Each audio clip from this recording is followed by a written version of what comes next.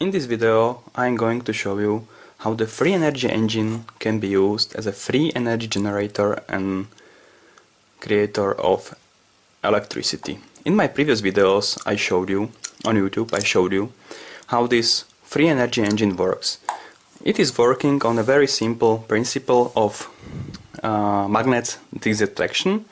I put the magnets on this rotation part, I use very strong neodymium magnets when I put it closer to this rotation part it is causing the rotation. When I put it off the rotation is not working. Once again okay the rotation is not working now.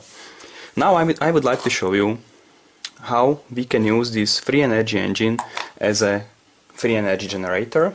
We will put in this bulb but first I would like to show you the bulb I use the bulb that is operating on a very small amount of electricity.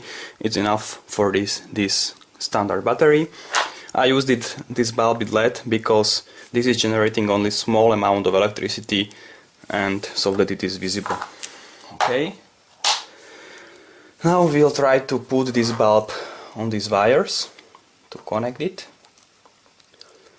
and we can try okay it's connected we can try the experiment we will start the rotation. Okay it's rotating already. And now I will put this wire here. Okay we can see it is lighting. When I put it off it is not lighting. Once again you can put it here. When we put the magnet. Moment. When we put magnet here. Okay. You can see it's operating. If we add the magnet here, it will rotate forever and we can have the never-ending lighting.